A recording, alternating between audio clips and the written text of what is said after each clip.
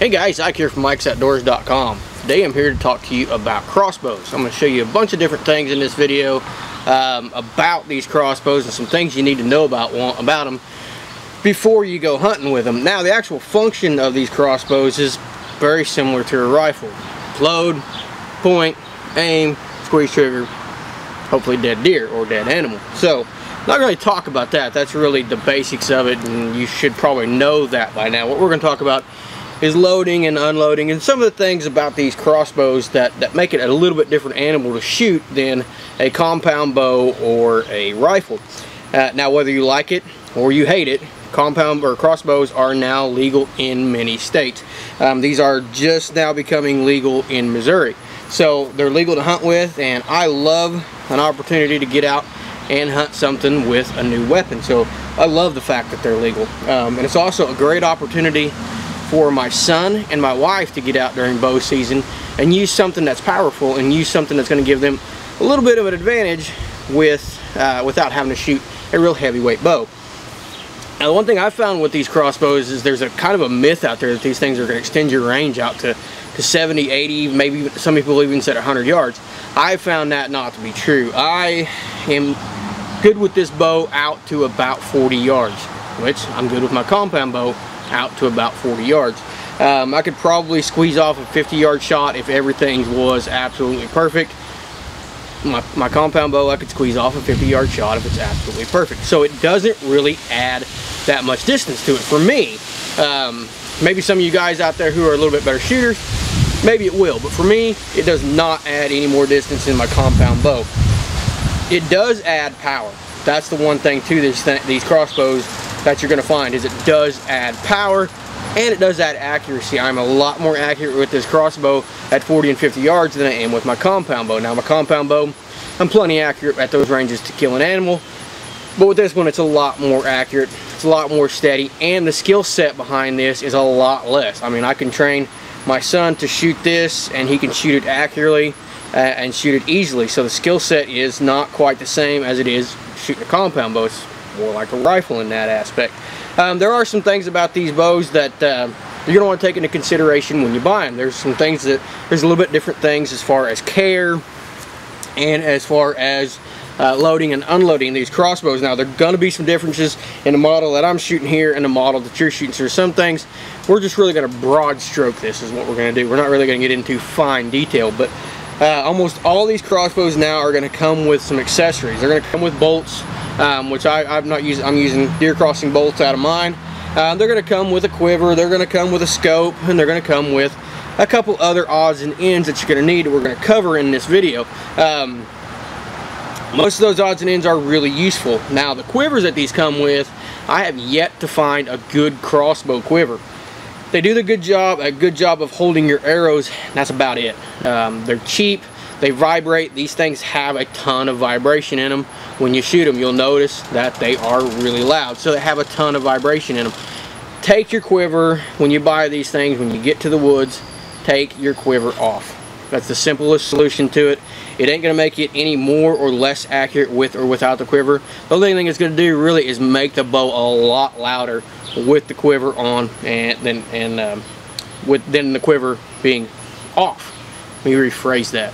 Um, it's going to make it the bow a lot louder with the quiver on there. So take the quiver off. So that's how we're going to talk about that. Or that's what I would do if I were you when it comes to the quiver. They're very cheaply made and very cheaply done. Now, I'm going to go ahead and uh, talk about the arrows that come with this and go ahead and put this thing down. Now some of the stuff that I'm going to talk about, you guys are going to think is common sense. Well, for a lot of us it is, but for some of us that are completely new to this, um, it's not common sense. When you're shooting a crossbow, you're going to shoot bolts. You're not going to be shooting arrows. The arrows that you shoot out of your compound bow, if you shoot them out of this crossbow, they will break. They'll break in flight, they'll break right out of the end of the bow, and it can cause you serious harm, serious damage. So you're going to want to shoot crossbow bolts. These are made by Deer Crossing you can see quite a bit shorter than a normal uh, arrow and they're quite a bit bigger and they are really thick. These are really heavy for such a short arrow. These are generally going to run from 20 to 22 inches. That's standard on your crossbows of today. So uh, most crossbows, like I said, are going to come with bolts. So just make sure you replace your bolts uh, with the same same length bolts that they come with. Don't go buy arrows for these things. If you go to Walmart and buy arrows that come out of these, they're going to hurt you and they're going to hurt people around you. So buy crossbow bolts. Um, I have seen people shoot these with a fixed head broadhead, but I shoot mine with a, an expandable. I use the G5, um, I, am not sure which ones I shoot. Oh, I shoot the Havoc out of, them. that's what I shoot. The same ones I shoot out of my compound bow. Now, when it comes to picking up an expandable for these, there are some things you're going to want to consider. This bolt is flying very, very fast. So some of those expandables out there that open really easy in flight when this is going going through the air can actually catch enough wind to force those open. And if that happens this bolt will jerk off to the side. So they make crossbow uh, broadheads special, especially for these arrows. So if you can I recommend picking up a crossbow specific broadhead and those ones are just a little bit harder to open and they're just going to fly out of these without the potential of them opening up and causing you to miss your shot. So uh, with that said let's talk about some of the other accessories that this uh, thing is going to come with with and how to use those. Okay so these are a few of the things that my crossbow came with and these are actually not the specific kind that they came with. These are actually some uh, aftermarket ones that I picked up because I used all the ones that came with my crossbow already. You're going to want to wax the string on this just like you would with any compound bow. You're going to need to use some kind of good high quality wax. Um, I use just the 30-06 uh, bowstring lipstick. Uh, you can see here this is the pink lipstick here, the breast cancer awareness color, uh, stuff like that. So this is what I use, just the same way you'd use it on your compound bow. The other thing that it's going to come with, and we'll show you how to use this real quick, is rail lubricant. This is an aftermarket rail lubricant I picked up at Cabela's. It's just their house brand. And I really like a liquid. They also have like a, a wax, almost like that bowstring out there on the market. But I like the liquid. What this does is there's a ton of contact. You can see this string actually rests right on your rail. So you want a little bit of lubrication there to keep that string from rubbing on that and getting and snapping basically. So you want to keep that uh, nice and lubed up. All you're going to do is take your rail lube and you're just going to put a generous amount on there all the way back to the back. And as you cock this it's going to pick up that rail lube and it's going to lubricate your rail and it's going to keep all that friction down. So I just put a, a nice little coat of that on there just like that.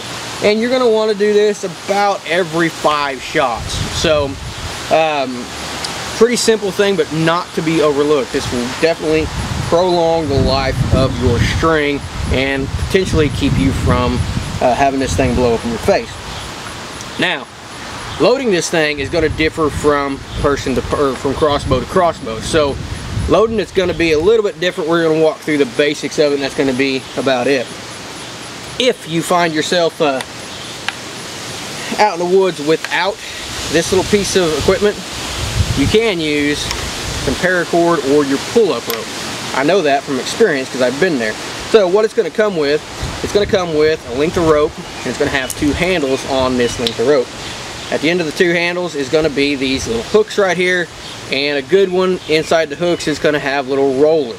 So what you're going to do with that, and we'll have to change camera view here, is you're going to use this to cock your crossbow. If for some reason you buy a used crossbow or you buy a crossbow that does not come with this, which most of them today are going to come with this, definitely go I would go out definitely and pick one of these up because these crossbows I believe this one here is 150 pounds.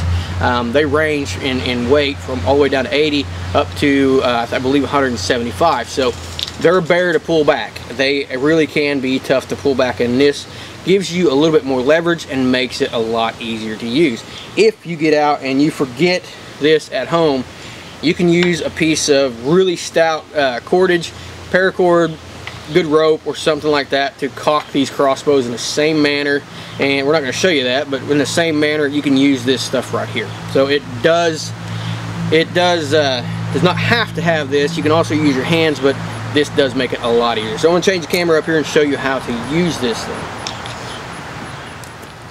Okay so like I said it's going to be different on all your crossbows um, out there. This is a striker offspring and most of them are going to be a little bit different but still going to be basically the same thing this thing right up here in the front the stirrup is to go on your foot. So you're gonna put that down on the ground. You're gonna put your stirrup on there. Now, some are gonna automatically put this thing on safety when you pull it back. Some will not. This one, it's one of the few things I do not like about it, actually will not cock unless it's in the firing position. If you move this back to the, to the uh, if you try to cock it when it's in the safety position, it will not go past that safety and you can't get this cock. You have to let it up and put it in the firing position. Now, 90% of the ones that I've seen do have a safety on them that is engaged by the bolt. So that means when you pull this back, even if it's in the fire position, it will not fire until you insert a bolt and slide it back and engage the safety in there. So even though this has to be on fire when I pull it back, it still has another safety on it that keeps it from going off at this point. But just like any weapon that fires a projectile, treat it like it's a loaded weapon at all times. So to use this cocking rope, what you're gonna do is you're gonna insert one handle and one hook through the back side of your grip here. Now you're gonna take this and you're gonna hook it just like that. And you're gonna take this side and hook it up just the same. This one is a little, needs just a little bit more. It's just a little bit tight. So you're gonna have it hooked up just like that. Now, at this point, you're gonna grab hold of your handles and you're gonna start pulling this thing back. You hear that cock? What I do, I've heard it catch, but I, when I let it down, I make sure I let off of it very, very slowly until I'm sure it's caught. And at this point, I flip on the safety. Now, I'm ready to go. Mine's loaded, or I mean it's cocked, my safety is on, and I'm ready to load an arrow. Okay, so this thing is now cocked and ready, ready to go. It has a safety inside there, like we discussed, that will not allow this to fire until you have a bolt inserted into it. The bolts are going to come with, actually that one's got the wrong fletchings on it. It's missing the fletching. So what we're going to do, we're going to have a bolt that's going to have a cock feather on it. And on this one, the cock feather is green. So you got your two white hen feathers, you got your green cock feather. You're going to insert this into the crossbow just like that. White, And you have to do it like that every time. And the reason you have to do it like that every time is because the nocks on this are oriented in a specific manner so that the string catches them. You can see the nocks on this one are moon shaped. Those are called moon nocks. There are also flat nocks out there, but I like the moon nock because it gives it a little bit of grip on. If you load this up without that cock vane down, one, you're going to run into potential of actually hitting something uh, on the way out, causing clearance issues and causing that thing to fly off and not hit the animal. The other thing is it's not going to catch that, that uh, nock right. So you want that oriented in a position where your cock vane is down and your moon nock, if you're using a moon nock, has the groove that's parallel with the string so it'll catch the string. At this point, all you do is slide this thing home and now this thing is ready to shoot. So, after that, it pretty much shoots just like a gun. You got your scope up here or your iron sights or whatever you have. You have your trigger down here, you have your safety. Once you have that ready to go, you get an animal in front of you, flip off the safety and rock and roll. So, say you go out and you do not have an animal come in front of you and present you with an opportunity to shoot. At this point, what you're going to want to do is unload this thing. This is just like a muzzle loader. You cannot unload it without firing it. They make several different things. Uh, I'm to go ahead and take this bolt out just to keep it off safety. Uh, they make a couple different things to unload this. They make small little targets to unload it or they actually make decocking arrows which are just solid fiberglass and they have a blunt point on the end of them. I have both. I have a small target that I use and I also have the decocking arrow but I can't find a decocking arrow so I use this hips target right here. This is the hips 12 pack archery target, compound bow, crossbows is good for everything. It's a small 12 by 12 target um, and it works great for doing this. I can take it with me in the back of the truck, doesn't take up a lot of space. When I get there and I, I don't kill something with my crossbow or don't fire it, I can take it and I can toss it out there a yard or two and I can, I can shoot my arrow into this and my crossbow is safe to transport. I won't put my crossbow uh, into my truck when it's still loaded. So um, one of these is a great investment or like I said, one of those arrows that actually uh, decocks is made for decocking and you can shoot in the ground. I'm gonna go ahead and unload this thing real quick. Not with that one, because that one doesn't have a field point on it. We talk about prepared.